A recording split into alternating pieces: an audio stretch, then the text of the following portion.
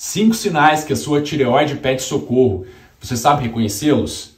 Esse vídeo vale para as pessoas que já têm o diagnóstico de hipotireoidismo, que já usam levotiroxina ou algum medicamento como propiltiracil, tapazol e também para as pessoas que não têm o diagnóstico.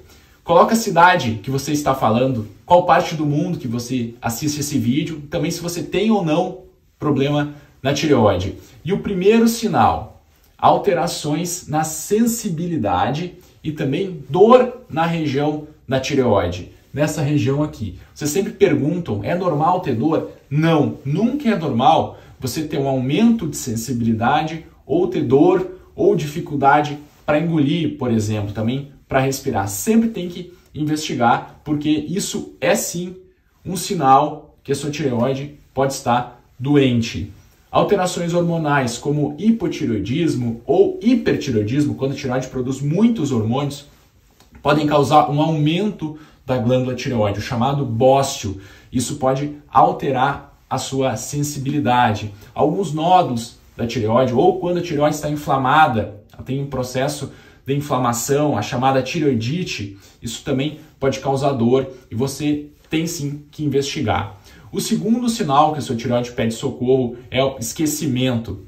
Esse sinal é muito frequente porque os hormônios da tireoide, T3, T4, têm ação no sistema nervoso central, têm ação nos nossos neurônios, na nossa memória. Inclusive, se você tiver hipotireoidismo e não tratar, isso pode levar à demência. É uma das causas de demência. Até se você esqueceu de curtir esse vídeo, então já curte agora. Se você não seguiu a página, se você esqueceu de fazer isso, já faz, que pode ser um sinal que a sua tireoide está pedindo socorro. Brincadeiras à parte, mas eu vejo que quase 100% dos pacientes que têm hipotireoidismo, que têm esse diagnóstico, ou hipertireoidismo, tem o excesso dos hormônios da tireoide, eles relatam esquecimento. Se esse for o seu caso, escreve para mim nos comentários, isso é importante também para outras pessoas lerem e prestarem atenção nesse sinal. E o terceiro sinal, que existe uma polêmica sobre isso, que é tireoide e alterações no peso. Será que a tireoide pode engordar ou emagrecer?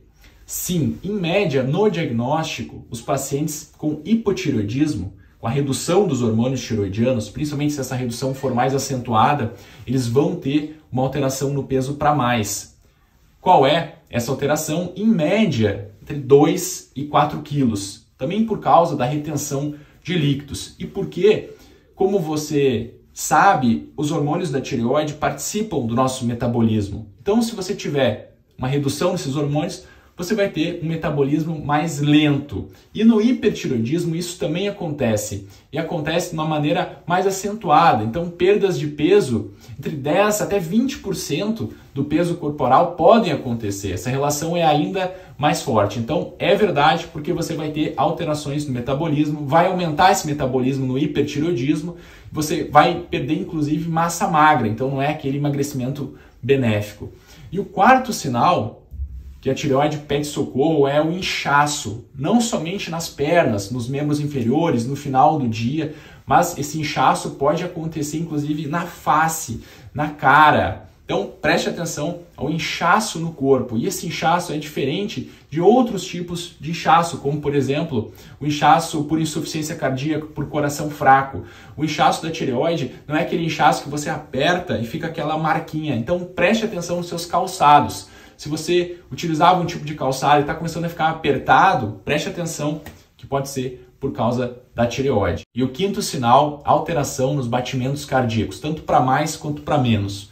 Qual é a média dos batimentos cardíacos? Entre 60 até 100. Então, no hipotireoidismo, você pode ter uma redução dos batimentos, batimentos menores do que 60 por minuto, que se chama de bradicardia. E no hipertiroidismo, inclusive até mesmo em repouso, você pode ter o que se chama de taquicardia, quando o coração bate mais do que 100 batimentos por minuto. Você tem aquela sensação de palpitação, parece que o coração está na boca, você sente o coração acelerado. Então sempre tem que investigar alterações na tireoide, tanto hipo quanto hipertireoidismo, porque o coração também tem receptores para os hormônios da tireoide. A tireoide também tem ação no coração. Você gostou desse vídeo? Qual nota você dá para esse vídeo? de 0 a 10, para eu saber que eu tenho que produzir mais vídeos como esse.